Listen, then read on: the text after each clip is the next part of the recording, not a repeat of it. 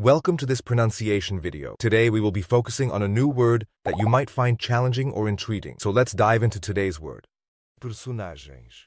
Which means Characters, especially in a play, movie, novel, or other narrative work.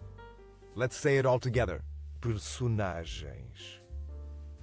Personagens. Personagens. One more time. Personagens.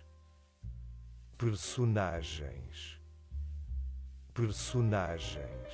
Thank you for joining us on this adventure in pronunciation. Remember, language is a journey, not a destination. Keep exploring, experimenting, and expanding your linguistic horizons. We'll see you next time.